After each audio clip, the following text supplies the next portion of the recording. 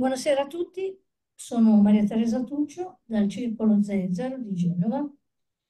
L'incontro di stasera si inserisce nelle conversazioni sulla transizione ecologica che dal 2021 conduciamo al Circolo Zenzero in, insieme a Eco Istituto di Reggio Emilia Genova. La, nella pagina dei nostri social potete trovare il link a scusate, eh, il link a tutte le conferenze che abbiamo fatto questi anni e, con relativa eh, indicazioni per ritrovare le conferenze, la registrazione delle conferenze sul canale YouTube o sulla pagina Facebook di Eco Istituto. Il nuovo ciclo che ha preso il via due mesi fa si riferisce al nucleare, è dedicato al nucleare. Perché il nucleare? Perché da un po' di tempo si parla spesso di nucleare e naturalmente nucleare da fissione, cioè spaccare l'atomo per ricavare energia, con conseguente produzione di materiale altamente radioattivo, le famose scorie, che ancora non si sa bene dove metterle e, e cosa farne. No? E materiale e nucleare da fissione perché la fusione, a quanto si dice continua ad essere una chimera, Nomina, sempre nominata, sempre tra vent'anni, fra trent'anni, ma sempre rimandata. Dicevo, si parla sempre più spesso di nucleare. Si è parlato di nucleare l'anno scorso, quando l'Europa l'ha inserito nella tassonomia europea, cioè l'elenco delle attività sostenibili che possono essere finanziate e, e che possono e che sono considerate sostenibili dal punto di vista ambientale. Si è parlato di nucleare nelle conclusioni della COP28 di novembre 23 e nel recente G7 di Torino su clima, energia e ambiente, il nucleare è stato inserito nel mix energetico per affrontare il cambiamento climatico, cioè per sostituire i combustibili fossili e non produrre più CO2. I nostri politici tornano a parlare di nucleare in un modo con una superficialità a dir poco fastidiosa. In questo contesto si inserisce il film di Oliver Stone, Nuclear Now, distribuito alla fine del 23.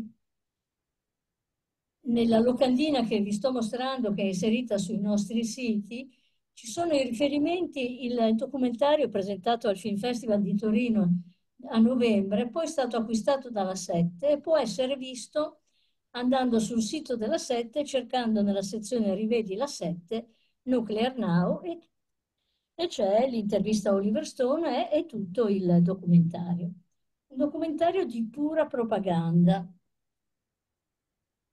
Pura propaganda che a volte eh, proprio uno si chiede come sia possibile sostenere certe cose, però vi consigliamo veramente di vederlo e e magari farvi aiutare da queste conferenze che abbiamo organizzato per capire meglio. Con questo ciclo di incontri abbiamo voluto appunto dare la parola a tre esperti proprio per parlare di questo film e con il loro aiuto cercare di non farci abbagliare dalla propaganda e di non cadere nell'inganno. Il primo esperto che abbiamo incontrato a marzo è stato Nicola Armaroli, mese successivo abbiamo visto Mario Agostinelli e oggi è la volta di Ugo Bardi, già professore presso l'Università di Firenze e membro del Club di Roma, l'associazione fondata nel 1968 da Augusto Peccei, un economista, un visionario che per primo parlò di, dell'abisso che abbiamo davanti, denunciando l'impossibilità di una crescita illimitata in un pianeta finito. Nel 1972 uscì lo studio commissionato al MIT di previsioni su queste cose. Lo studio era intitolato The Limits to Growth, fu malamente tradotto come limiti dello sviluppo, dando origine alla confusione tra crescita e sviluppo che negli anni successivi si è più volte fatta. Ma lascio tutto questo a Ugo, a Ugo Bardi, che forse alla fine riuscirà a parlarcene anche perché recentemente lui ha pubblicato un libro rivedendo le premesse di quel, di quel libro, di quello studio del SETA e verificando che sono tuttora validissime.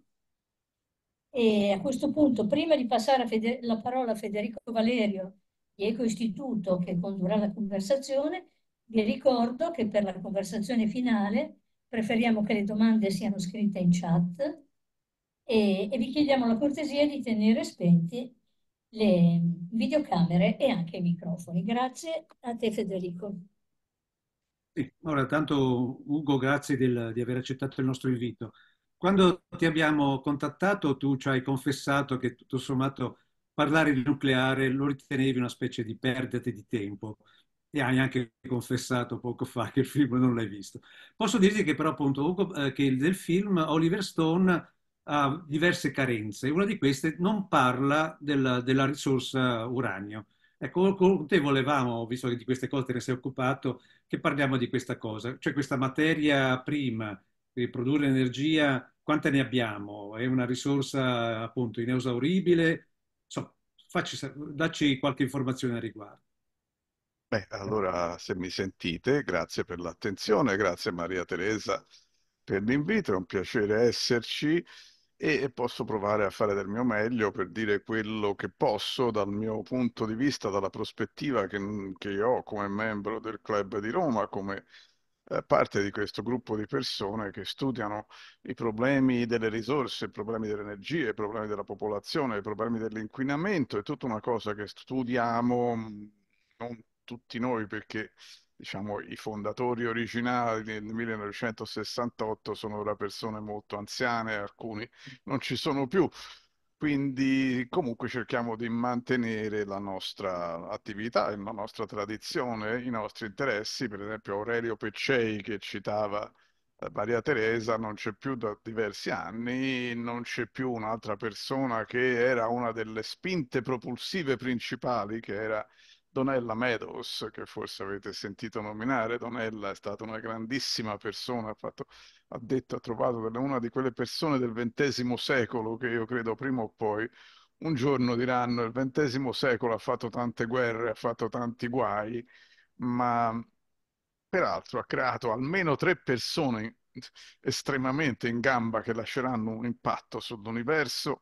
Una è Donella Meadows, l'altra è Elinor Ostrom e l'altra è Lynn Margulis, che è quella che ha creato il concetto di olobionte in biologia, ma non entriamo in questo discorso. Donella Meadows non era una biologa, era una sistemista più o meno la tradizione alla quale io personalmente mi rifaccio per quello che posso, cioè studiare i problemi dal punto di vista sistemico, che è più o meno l'opposto di, che studiare dal punto di vista politico, perché dal punto di vista politico consiste nel semplificare, trovare un nemico, demonizzarlo con una campagna propagandistica, dopodiché il problema non è detto che, no, che si sia fatto che sia risolto, però perlomeno perlomeno il politico ha guadagnato voti e potere e purtroppo sta succedendo esattamente questo dal punto di vista del nucleare.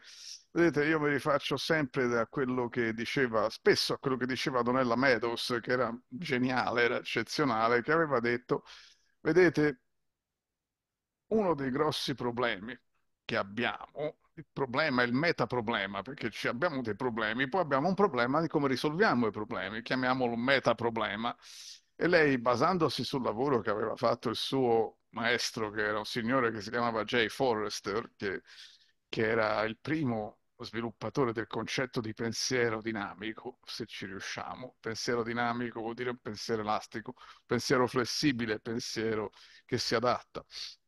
E lei diceva il problema di noi umani è che quando ci troviamo di fronte a qualcosa, che dobbiamo cambiare qualcosa, perché non, non, qualcosa non funziona, il primo impatto, il primo tentativo è sempre una legge dell'universo di muovere, premere il sistema nella direzione che peggiora il problema. Questo ragazzi è un insight, è un'idea, è una cosa che se la capite bene vi aiuta molto nella vita, perché molte volte la prima la prima volta che uno si trova di fronte a un problema, ehm, questa cosa di Noella Meadows mi, mi, ricorda sempre una cosa che mi insegnò un mio amico quando ero adolescente, quando avevo so, 16 anni, 17, e, e parlavamo, mm. dice, ma Gabriele si chiamava, Gabriele, ma com'è che tu le ragazze ce l'hai e io no?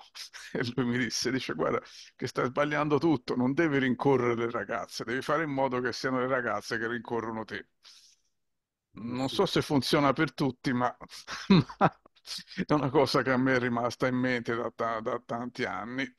E è quello che sta succedendo per il nucleare. Di fronte a un problema, un problema dell'energia, che succede? La prima, la prima mh, riflesso dei politici, dei decisori, degli opinion leaders, di quelli che sono i, mh, quelli che vengono vagamente ascoltati, no? I- gli opinionisti dei giornali o gli influencer che vanno di moda, dice, ma inventiamoci qualcosa che è grosso, pesante, concent- somiglia a quello che avevamo prima, ma magari funziona meglio, forse fa più rumore, o forse il fatto stesso che fa paura a tanti lo rende un pochettino più, più potente, più mm, una specie di dio, eh, ciao Pinuccia, una specie di dio del, del male che alle volte, per- alle volte uno si trova quando è una situazione difficile, magari fa un sacrificio umano, come si usava in epoche remote.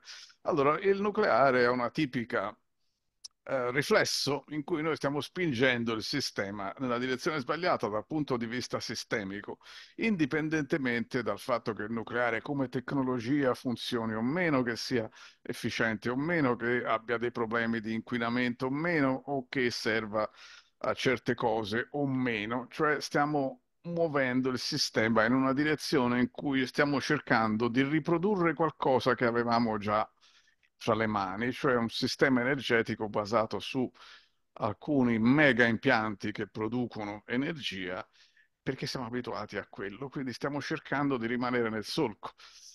Ed è questa la, la critica che non io, non solo io, molti di noi fanno alla, alla questione nucleare dal punto di vista sistemico, che peraltro va detto anche che non pre- può prescindere dal punto di vista tecnico, cioè se il nucleare fosse veramente poco costoso, inesauribile, bello e, e non inquinante, come alcuni dicono, dice Ugo, ma che con i tuoi sistemi sistemici, Mm, è che purtroppo di fronte ai molteplici problemi che ci troviamo di fronte, problemi tecnici evidentissimi, ci accorgiamo anche che stiamo premendo una soluzione che non ha molta logica dal punto di vista tecnico, ma che magari potrebbe anche fornire un contributo, forse se non fosse che viene spinta in modo sistemico come se fosse salvifica e in questo caso fa dei danni.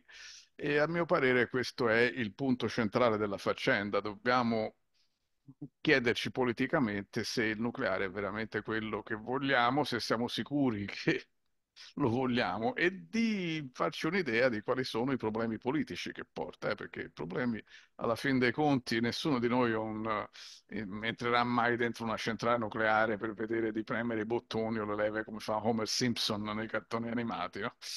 E, e quindi abbiamo molteplici questioni da chiederci che io ho fatto una piccola introduzione e poi vediamo, e, no- e non si risolvono con un film, per questo poi tu mi hai detto non l'ho visti, ma no- onestamente, onestamente non credo che un film pagato, non si sa da chi, da come, per, qua- per fare propaganda in una certa direzione sia molto interessante. Sì, il film aveva indubbiamente questo in- intento, cioè convincere la gente che, necess- cioè la gente non abbiamo, si è rifiutata di avere il nucleare per paura, però diciamo paura senza nessun, eh, dire, nessun motivo reale, eh, ragionevole. Con te volevamo appunto vedere allora questi problemi stai, di cui stai accennando, quali potrebbero essere, cosa, qual è la cosa che a questo punto dovremmo anche pensare per cercare di capire se questa scelta è- è- ci aiuta oppure no. E infatti poi siamo al prossimo punto che mi sta introducendo giustamente, dopo, dopo che ho parlato di un problema sistemico, chiaramente quando ci troviamo di fronte a questi problemi complessi, che sono effettivamente complessi, è molto difficile anche per gli specialisti stessi. Ora faccio una piccola digressione, anche il problema climatico viene di solito discusso con gli specialisti, fra gli specialisti e in modo specializzato e molto spesso ti accorgi che gli specialisti hanno- non hanno una visione sistemica, cioè vedono bene certe cose, no? Non per dir male degli scienziati del clima, eh, che ne sanno tanta più di me, non, non pensate che Ugo Pardi venga lì a dire che ne sa di più di altri, ma, ma però alle volte ti trovi a dire ma sei sicuro? Dici ah questo non ci avevo pensato. E lo stesso per il nucleare. Il nucleare ti trovi per esempio a trascurare spesso due problemi che sono fondamentali, che sono quello delle risorse e quello politico, che è correlato, perché la gestione delle risorse è un problema prettamente politico. È un po' come quando parli del, del clima, dice ma c'è solo il CO2, no, c'è tante altre cose che non vengono, ci si mette a litigare perché se il CO2 fa, c'è un coefficiente che coefficiente di quanto, in, riscaldamento, quanto riscaldamento dà una certa concentrazione, questa la sensibilità climatica, si, si sta a discuterne per, per mesi, è diventata una specie di idolo um, tipo, tipo Baphomet, quello, il dio cornuto lì, quello che, che si adora nei, nei film. E lo stesso del nucleare, si fanno grandi discorsi tecnici e tutto alla fine si risolve, se avete fatto caso, su un, da una parte c'è quelli che dicono no, non sappiamo dove mettere le score. E dall'altra dice no, il nucleare è poco caro, buono, funziona bene, buon, buono tappeto, per non dire male di nessuno, insomma vendiamo il tappeto o, o il, o vendi questa, questo, questo coso che ti vendo. E manca un discorso sistemico perché una volta che tu metti su una centrale nucleare non hai costruito un, solamente un sistema che produce energia, hai costruito un sistema che si interfaccia con tutto un sistema di rifornimento di risorse perché il nucleare si inserisce in un sistema di sfruttamento, estrazione, raffinazione, produzione e fornitura di risorse di combustibile nucleare. Allora, parliamo quando, di questo. Quando entri in questo argomento, entri in un argomento di cui non, non, voglio dire niente di particolare, però onestamente non se ne parla tantissimo. Eh? Non so voi che impressione avete fatto, ma su questa cosa molto spesso la gente rimane un po' spiazzata. Dimmi sì, se ne parla veramente poco, quindi non, non, non, credo che ci sia la consapevolezza appunto di tanto eh, di questa Non c'è catena. questa consapevolezza perché non si ragiona in termini sistemici, sì. purtroppo. Eh, quando hai un coso, non è che ti, ti, compri il nucleare, lo metti in giardino e attacchi la spina, non funziona così. Entri, entri in un ragionamento in cui lo devi inserire in un sistema di produzione di energia, che è una questione di una complicazione politica, politica spaventosa, perché la, quanto, mh, quanto, uranio c'è? Una prima cosa mi domanda quando si parla di queste cose, ma di uranio ancora ce ne sarebbe anche tanto, non, non è quello il problema, perché quando voi vi comprate il nucleare e lo mettete nel vostro impianto, perché ora va di moda, gli impianti piccoli non si sa che vantaggi abbiano, ma vanno di moda. Allora uno mi compra un impianto piccolino, lo metto nel mio giardino, però a questo punto devo andare su Amazon e mi vendi un, un 10 kg di uranio arricchito. e non, non, c'è su Amazon l'uranio arricchito, non ho provato a cercarlo, devo dire, provate voi, ma forse non credo che ci sia. E allora il problema non è tanto chi produce l'uranio, che si produce in molti posti, ma chi lo raffina? Perché la tecnologia è quella dell'uranio arricchito, che è tutta una storia lunghissima, anche quella sistemica, che nasce da un discorso che tutti quelli che hanno fatto le centrali nucleari non le hanno fatte perché gli interessavano le centrali nucleari, hanno fatto perché volevano produrre la bomba atomica e per cui servivano degli impianti di arricchimento dell'uranio che li hanno potuti fare perché li hanno pagati i militari, altrimenti non avrebbero mai costruito una centrale nucleare su questo pianeta. Allora, che succede? Fate un po' di conti, chi è che arricchisce l'uranio? Secondo voi, datemi un numero, quanti paesi ti vendono, esportano, diciamo, uranio arricchito? Fatemi, fa, vale... le bombe nucleari in casa o qualcosa del mm, genere? Sì, tutti quelli che non è detto però che lo esporti. Noi, per esempio, la Corea del Nord si, si arricchisce il proprio uranio, però non lo esporta. Si potrebbe anche domandarglielo, dico ragazzi, ma avete mica un po' un, qualcosina che vi avanza? Ma quelli che lo esportano ufficialmente, regolarmente, sono pochi, sono tre o quattro. La Russia, la Cina, la Cina lo esporta poco, ma lo potrebbe esportare. La, L'America, l'Olanda, la Francia e la, e la Germania, ma diciamo la Germania sta chiudendo, non, non ne può, quindi in realtà rimango... Ce la, ce la scordiamo in qualche modo. Sbaglio. Ce la scordiamo decisamente perché un impianto di raffinazione nucleare diventa un costo che nella condizione economica attuale veramente, veramente sarebbe, uno dice quanto costa il kilowattora nucleare, te lo dice, fa tutto il conto, ma non include il discorso che se io volessi ottenere l'indipendenza energetica, mettermi al riparo dal, dai possibili um, interruzioni del, del, nella fornitura dell'uranio, a quel punto dovrei farmi un impianto di arricchimento che in ogni caso non, non lo faremmo, non lo potremmo fare, non ci sarebbe data questa possibilità perché l'arricchimento dell'uranio, gli impianti di arricchimento dell'uranio sono una questione strategica e non, si, non è che te lo puoi fare, dici ho deciso e me lo faccio in casa, no.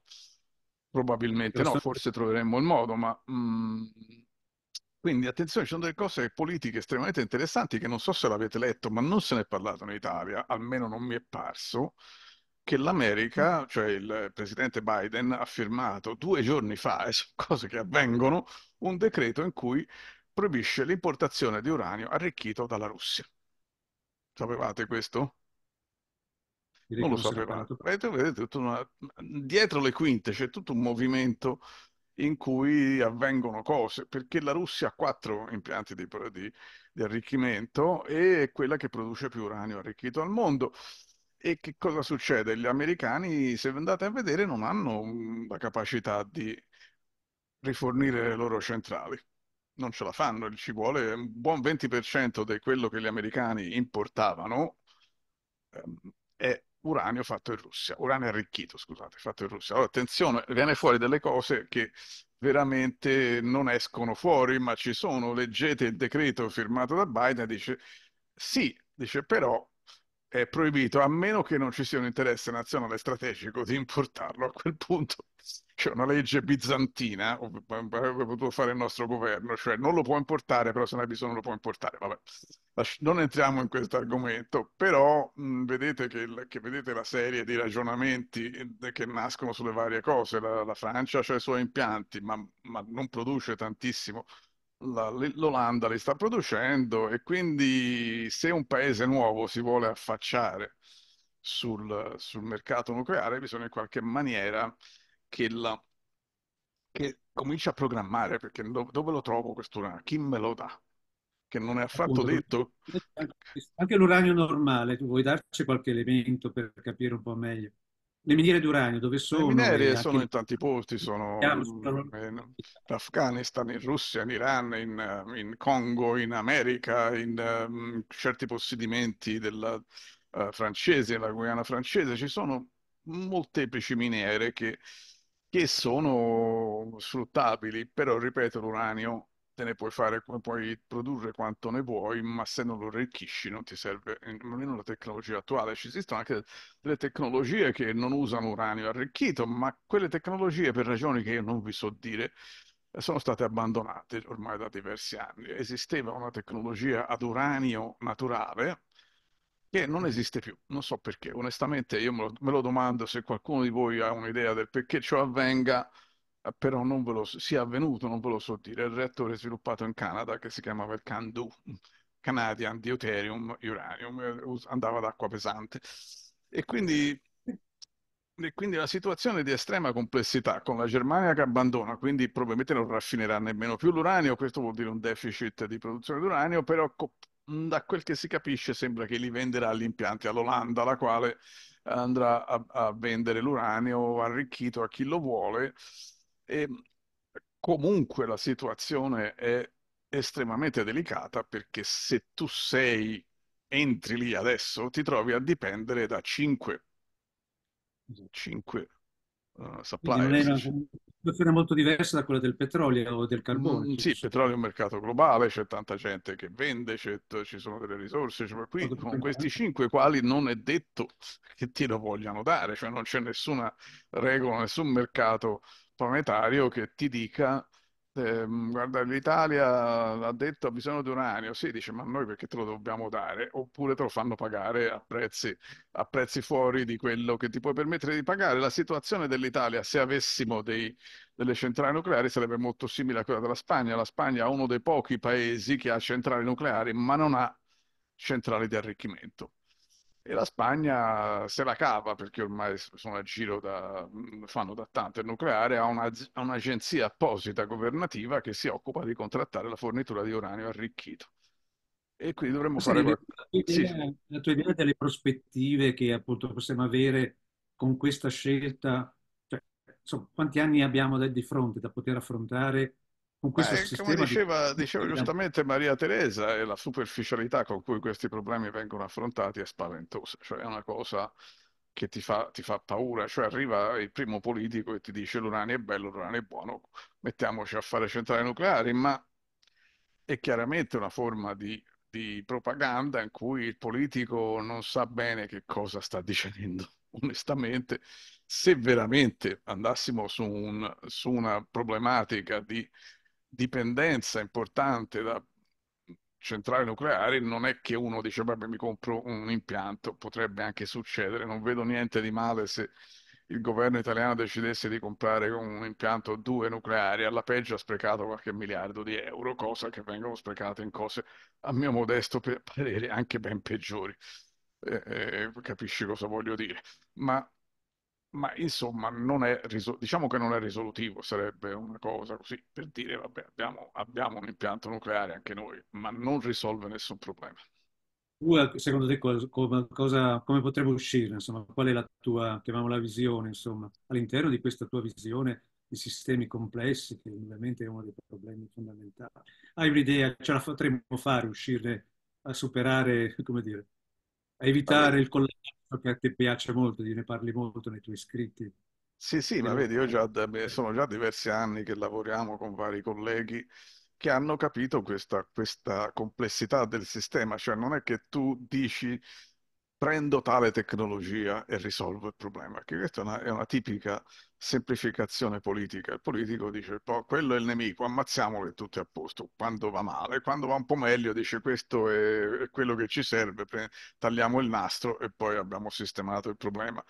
La um, questione è che una buona frazione degli, dei ricercatori in campo energetico su cui stanno lavorando stiamo lavorando. Io faccio mio, quello che posso eh, con altri colleghi che facciamo degli studi e già diciamo sono una buona decina d'anni in cui abbiamo cominciato a lavorare sulla transizione, su modelli sistemici della transizione, cioè eh, non è che ci sono miracoli che arrivano, tu devi cominciare a programmare, dicevo levo una certa cosa che non voglio, mi muovo in una certa direzione, introduco un'altra tecnologia e comincio a, a programmare o perlomeno a rendermi conto di quello che potrebbe succedere da qui ai prossimi almeno 5-10 anni.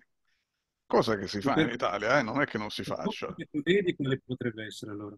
Scusa, Andrea, non, non ti ho sentito. su cui avevi ragionando, eh, scusa, il percorso eh, su cui state ragionando, che, che, stiamo, stiamo lavorando sull'unica possibilità in questo momento che abbiamo di uscirne fuori vivi da questa situazione, che è un potenziamento dell'energia rinnovabile, massimo potenziamento dell'energia rinnovabile, elettrificazione di tutto quello che possiamo elettrificare e eh, Mm, efficientare in quello che possiamo efficientare. Chiaramente la cosa è certo. possibile perché ci, i vari programmi con cui lavoriamo, alcuni io, io sono uno dei tanti ricercatori che lavorano in questo campo, ma ti posso dire che stiamo uscendo ora con un articolo che, abbiamo, che stiamo pubblicando con dei colleghi finlandesi, dei colleghi tedeschi, che mm, fa una specie di review dei vari modelli tutti i modelli. Questo modello cosa dice, quell'altro modello cosa dice, ed è interessante che i modelli sono moderatamente ottimistici, anche perché sui modelli i politici non ci mettono le mani, per fortuna. Ehm, I modelli ci parlano, dice, se alcuni modelli si dicono, guarda, se voleste lo voleste veramente fare, entro il 2035 potete affrancarvi completamente dal, dal, petrolio. Io non ci volevo credere, ma sono modelli fatti da persone serie, eh, non da modelli non inventati così. E, è poss- sarebbe possibile... Solo rinnovabili. Le rinnovabili e l'elettrificazione e l'efficientamento, diciamo più realisticamente dovremmo poterne uscire. Entro, ma entro il 2050 credo che sia credibile sia perfettamente credibile che noi arriveremo a zero energia fossile, ma forse anche prima se, se vogliamo veramente farlo, 2040 non è un bersaglio impossibile, e azzerare totalmente tutti i combustibili fossili, fra i quali io personalmente includo anche l'uranio, perché anche l'uranio lo possiamo definire come un combustibile fossile, nel senso che è stato creato da processi che oggi non esistono più e quindi, e quindi un fossile rimasto lì non si crea più. Che cosa vuol dire? Che ehm, la possibilità c'è, per esempio vi, vi faccio una cosa mi ha stupito e mi ha veramente flashato, come si dice oggi, che i dati della California. La California eh, si è messa seriamente a lavorare sulle batterie per lo stoccaggio dell'energia rinnovabile e vedete i risultati in tre anni, cambiamento nettissimo delle curve di produzione che prima avevate un picco e poi un deficit. In tre anni sono riusciti ad arrivare a questo picco che si, che si, mm, flat, si diventa piatto, si appiattisce e poi quando c'è il deficit vedete che viene sulle batterie che pareggiano il deficit. Non sono ancora in grado in California di arrivare al 100% rinnovabili, ma in tre anni cominci a vedere le, le batterie portano su un buon 5-10% dell'energia. Non so se vi rendete conto, l'energia elettrica ovviamente non, non, non altre forme, ma se in tre anni riesci a fare una cosa del genere, vuol dire che veramente hai in mano le leve per muovere il sistema, soprattutto con queste nuove batterie che stanno venendo fuori adesso, le batterie al sodio, che non sono una, una tecnologia adatta per i veicoli, ma sono eccellenti per lo stoccaggio. Quindi, e quindi se ci vuoi investire sopra, se lo vuoi fare, lo puoi fare. E tutti dicono, no, ma il nucleare... Come dici, scusa? Perché la California Scusa, la, perché la California politicamente ha deciso di fare certe cose e, non, e non altri. Ehm, in altri posti stanno facendo cose simili, in Svezia, Finlandia, Norvegia, loro hanno altre cap- possibilità, per esempio del, si basano più che altro sull'idroelettrico. Noi abbiamo condizioni di insolazione simili a quelle della California, quindi potremmo fare come la California, volendo. Mm ci vorrebbe diciamo, una politica un tantino lungimirante e che, che si andasse al sodo dei problemi. Comunque vi, avverto, sto, sto, parlando male dei politici, ma c'è un'infrastruttura anche dietro la politica che non è fatta di politica, che lavora su questi argomenti. Abbiamo comunque noi degli enti che, la, governativi che lavorano sulla pianificazione di queste cose, non siamo nudi e crudi. No, Parlare dell'Italia, scusami. Scusa, Valerio ti rimba- rimbomba incredibilmente, non ti sento. Mi piace, non... vabbè, io ti sento Rip- Riprova. Ti dice che è una... Quindi in Italia stavi parlando, che sono queste... Sì questi enti governativi che stanno sì, per lavorando. L'RSE, l'RSE ehm, ricerca energia, research energy, ehm, ricerca sistemi energetici. L'RSE è una branca del GSE che si occupa di questa pianificazione, anche, anche dell'introduzione dei veicoli elettrici, della, della gestione della rete, delle previsioni a medio e anche lungo termine. Cioè esiste questa capacità di pianificazione che però non viene fuori nel dibattito normalmente perché quelli che ci lavorano pubblicano sulle riviste scientifiche, scrivono tante belle cose, ma non, non, appaiono facilmente, perché anche poi se ti azzardi come faccio io ogni tanto a pubblicare qualcosa su un quotidiano, poi ti trovi dietro un milione di troll che ti, che ti insultano fino alla quinta generazione e cose del genere. E tu sei ottimista tutto sommato? Abbastanza, Come... abbastanza ottimista, nel senso che se non lo facciamo sarà solo colpa nostra, se non perché non l'abbiamo voluto fare. Noi cosa possiamo fare allora, anche noi cittadini comuni? Su queste cose? Individualmente, a mia modesta opinione, non è che uno può fare granché, cioè, noi dobbiamo semplicemente cercare di seguire, cioè la, non, quantomeno non andare nella direzione opposta. E questo vuol dire non farsi incantare dalle, dai, dai, vari film, eh, quello che ti dice il nucleare è bello, cosa. non ci sono soluzioni semplici ai problemi complessi, ricordiamoci sempre, ricordiamoci quello che diceva Donella, che diceva sempre, diceva, state attenti che la prima cosa che andate a fare è sempre premere il, le leve nella direzione sbagliata. E quindi se teniamo duro, non ci facciamo imbrogliare perché c'è gente là fuori che sta cercando di imbrogliarci. Tanto ringrazio enormemente di questa precisazione che noi tutti, tanto noi non siamo proprio semplici cittadini, perché eh, in qualche maniera come istituto mi pare che si raccolga il meglio del possibile sulle questioni di rimetti. Una di queste è fondamentale poter dire e far sapere alla gente, che ne sa meno di noi, eh, le motivazioni per cui il nucleare no.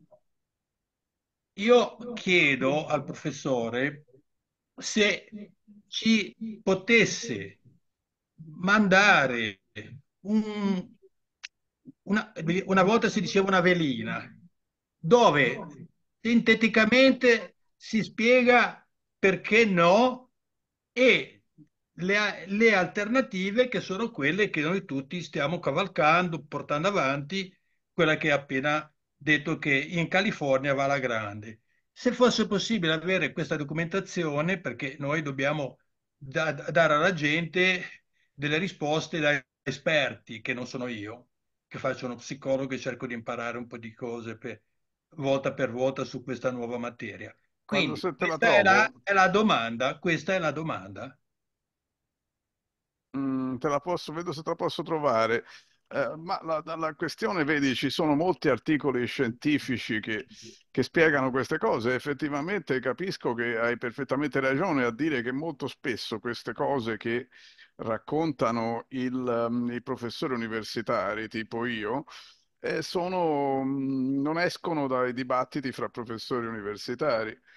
E quindi e quindi, e quindi, ci vorrebbe, ma è difficile perché qualsiasi cosa tu faccia ti trovi a essere in, in difficoltà um, nel cercare di passare certe informazioni che per te sono abbastanza ovvie e che poi infatti io ti sto cercando questa immagine dell'effetto delle batterie sulla, sulla rete um, della California, ma non riesco ora a trovarla perché mi ha preso di sprovvista, ce l'avevo qualche uh, ieri, ma ora bisogna perché ci lavorassi sopra, quindi la quantità di informazioni che ti arriva sul web è gigantesca, ma io credo che non sia poi troppo difficile trovarsi nella condizione di poter ragionare su mh, mm, su dei dati che bene o male, se uno li vuol cercare, riesce anche a trovarli e non è poi così impossibile.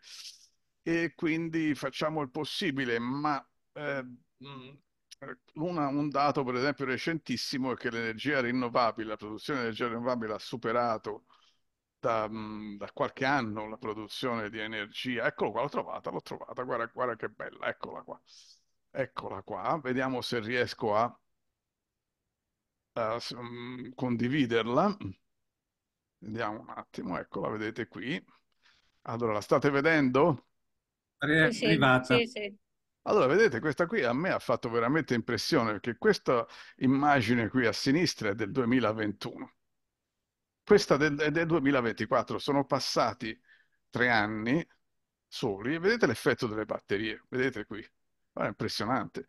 E non è che uno dice faremo fra 50 anni, in tre anni e sono ora lì, se a questo ritmo vuol dire che in tempi non lunghissimi tu puoi mettere su in, dagli altri tre anni, dagli altri cinque anni, dagli anni dieci, ma in, in tempi ragionevoli puoi mettere su un buffer dell'energia prodotta da, dal, dai pannelli solari che ti eh, is, eh, spiaccica la produzione per quando ne hai bisogno. Ecco, ma abbi pazienza, quando io ti chiedo da esperto di fare questa sintesi, la sintesi che ci consente di dire in 4, 4 10, 20 parole no al nucleare per queste ottime ragioni e le altre buone ragioni per l'alternativa. Se un esperto si, ci mette le mani e ci manda sta, sta documentazione, noi a nostra volta allarghiamo il, la platea. Vediamo di fare il possibile. Ti man- te lo, ok, promessa, te la mando appena ho due minuti, fretto qualche giorno, vedo di, di mandarla a Federico, a, a Maria Teresa. Sì, la mettiamo sul sito vicino alla io mm, cioè, abbiamo scritto gli articoli interi di questa cosa che sono un po' complessi, va sintesi, detto. Non... Sintesi, sintesi. Va bene, va bene, va bene. Grazie, grazie, Fasce. grazie Fasce, grazie Fasce. Mi pare che Pinuccia abbia un'altra domanda, o sbaglio? Pinuccia ha scritto regolarmente in chat e ringrazia per la bella relazione, condivide tutto sulla transizione ecologica e sarebbe interessata alla questione batterie per le auto. Dunque, la questione, ma che cosa ti interessa in particolare, Pinuccia? No, sapere appunto, siccome uno degli elementi critici è proprio quello, si dice che le batterie per le auto sono problematiche, sono critiche, volevo sapere lo stato un po' dell'arte, perché mentre per le batterie per uso stoccaggio hai parlato appunto ampiamente ed è interessantissimo quello che hai detto, così mm, mi interessava l'altro versante, cioè sapere se Sì, effettivamente c'è c'è un un'altra, c'è un'altra regola che Donella Meadows non ha detto, ma che ma l'ha detto qualcun altro, ma non so Ugo, che. puoi togliere la condivisione, per favore? Sì, scusa, hai ragione, hai ragione, stop share, eccomi qua. Grazie.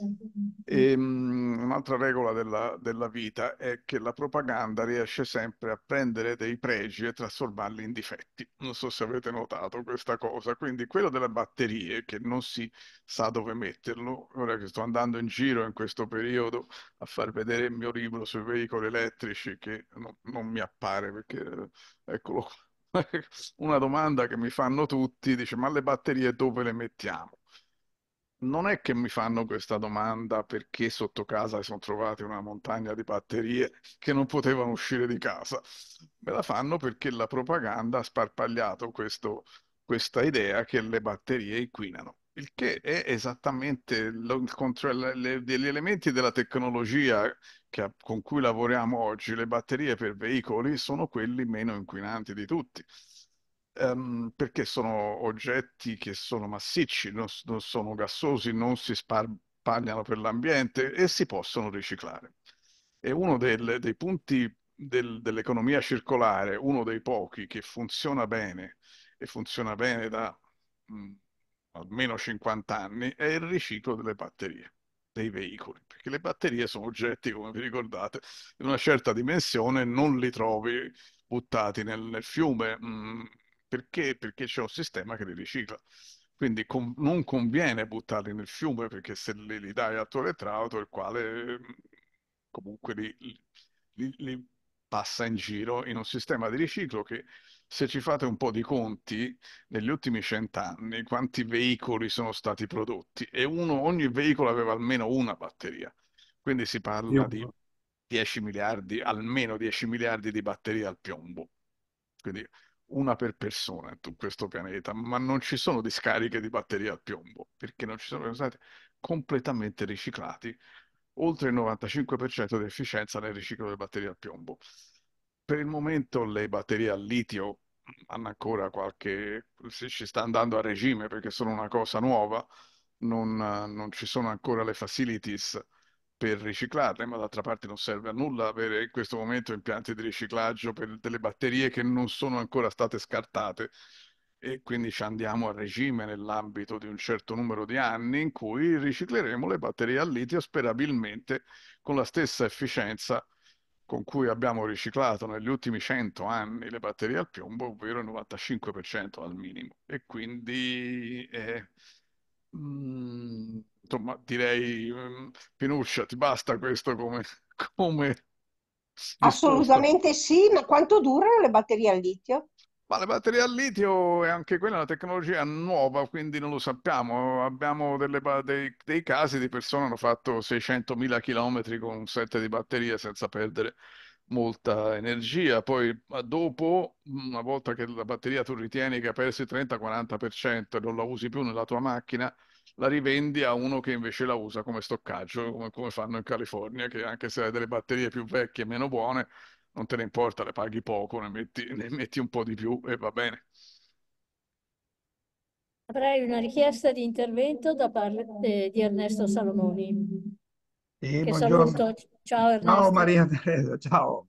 Ciao. Eh, mi presento un attimo, io ero compagno di corso di Maria Teresa, ci siamo persi molto e Ha avuto un, sono, ha avuto un grande, ha avuto un grande onore che a me è Eh, mancato. Sono, sono un, quindi sono un giovincello, un giovincello che poi ha abbandonato la ricerca all'università, ha passato la maggior parte del tempo nell'industria siderurgica, in Ilva, eccetera, ed altre aziende private giro per il mondo, ma poi fino verso il 2003-2004 e poi mi sono occupato anche di, di sviluppo, di, di ricerca. Abbiamo- sono stato socio nel creare la Columbus Superconductors che produceva super, cavi superconduttivi, alla di bororo di magnesio. Poi soprattutto insieme a Enrico Zani, Pier Enrico Zani che voi forse conoscete la maggior parte, abbiamo fatto il progetto per costruire una fabbrica di pannelli fotovoltaici, il Ferragno Solis, che poi è stata fatta e attuata da noi. Insomma, io ero l'amministratore delegato e che poi è finita, è finita diciamo, eh, alla fine con il Covid, gli ha dato la botta finale, prima del recupero. Va bene, eh, scusate, era questo per presentarmi, visto che non, non eh, sono mai partecipato, non ho mai partecipato, speravo di venire fisicamente oggi, ma non ce l'ho fatta. Eh, sul nucleare, che mi appassiona sempre, perché in teoria, ricordo Maria Teresa, almeno io ho una laurea in fisica elettronica nucleare, si chiamava così allora. Eh, una cosa che non so se avete discusso eh, eh, prima, perché sono arrivato anche in ritardo, è, è, è, i tempi di realizzazione di un impianto nucleare a fissione. E, e in Europa negli ultimi vent'anni, dal 2020, se, se, ne avete già parlato, mi taccio, ditemelo, l'avete già Oltre al discorso... Come? Come? Non oggi, ma passati no, no, ecco, però eh, ricordavi, io citavo solo due cose, perché ho fatto, io ho fatto quello che qualcuno di voi chiedeva prima, ho fatto anche delle presentazioni rinnovabili nucleari in cui ho sempre bocciato il nucleare nonostante la tradizione che sia nucle un nucleare di origine. E, e, e, quindi mi sono occupato di questo. Ma voglio dire, in Europa oggi eh, tutti chiudono le fabbriche, no? Eh, ma eh, quelli che hanno tentato di costruirli eh, dal 2000, eh, messo in programma, ce n'erano due, no? C'era Okiluoto in, eh, in Finlandia, 1600 megawatt, no? E sapete quando in prima pietra non, non progetto, eh, prima pietra di costruzione nel 2000, esattamente nell'anno 2000. È partita l'anno scorso, no? alla fine del 2022, inizio 2023, ancora forse non a regime, dopo aver speso anziché eh, 10, mili 10 miliardi circa di costo contro 2 o 3 miliardi di costo. L'altro progetto in Europa, sto parlando di Europa sempre occidentale, l'altro progetto era Flamanville, no? forse più noto in Francia, mm -mm. e pure lui partito nel 2000, non ancora avviato, eh? è ancora lì che, che lavora, che, che, che diciamo discutono, modificano, spendono. Da un progetto di 3-6 miliardi di iniziale sono già verso i 20 miliardi spesi, e non si vede luce di quando potranno realmente produrre, almeno che ci siano stati sviluppi negli ultimi, negli ultimi mesi. Cioè, voglio dire, se uno parla di nucleare oggi, anche a livello politico, tu sai e, e, e, parti da zero in un paese che non ha più le strutture, non ha più la ricerca, non ha più gli esperti, non ha più, non ha più niente. Io parlo, attenzione, Francia e, e, Finlandia hanno tutte le tecnologie, hanno un mucchio di centrali, eccetera, e, hanno fatto questi progetti solo in siti già nucleari, oh, già nucleari. Eh. A Occhiluoto ci sono dei reattori in funzione da decenni e, e come pure a Flamanville, quindi non in, in siti nuovi. In Italia 20-25 anni di kilowattora non se ne vedono prodotti eh, sul nucleare. Cioè, forse fra le cose che qualcuno chiedeva, dico, bisogna che le diciamo ben chiaramente queste cose. Quando sento dire che nel 2030 avremo il nucleare a fusione, no? Mi sembra che sia una cosa di una follia tale che non sai neanche cosa rispondere, ma, eh, però, ma anche il fissione, cioè i principali paesi che sono esperti di nucleare, hanno le centrali, eccetera, eccetera, in vent'anni sono praticamente riusciti a, a far partire una, un impianto per le nuove regole di sicurezza, giustamente, eccetera, eccetera, e spendendo delle cifre colossali. Eh, io dico, da solo questa cosa qua dovrebbe spingere i nostri governanti, se qualcuno riuscisse a farglielo capire. Io con qualche partito cui sono in contatto cercato di farmi ascoltare, ma non ho mai ascoltato nessuno, se devo dire. Eh. Eh, Vediamo cosa scritto, ne dice Ugo. Ho, ho, scritto, eccetera. Però voglio dire, questa è già una cosa. Scusate. Poi ovviamente ci sono la storia, Siamo... la storia mi fermo qua, eh, ma però voglio dire, la, questa è la dimostrazione che è difficile fare il nucleare, non è che sia che dice così. Scusa, oh, Ugo ci deve lasciare. Eh, scusami. No, scusate, ora basta, basta, questa, ho finito, ho finito, ho finito. Questa mandata mi hanno incastrato in questa, in questa sì, serie di webinar. Non, non, non, non, è sempre così, eh, non sono così tutti i pomeriggi. E scusa, quindi... una cosa che, scusa Ugo, una cosa che si aggancia a questo che ha detto Ernesto e che mi piacerebbe sentire la tua opinione, sono i piccoli reattori nucleari, perché è l'innamoramento del momento, no? Con Salvini che dice me lo metterei in giardino, eh, oppure i grandi cloud che, che dicono potrebbe essere la soluzione per il bisogno di energia.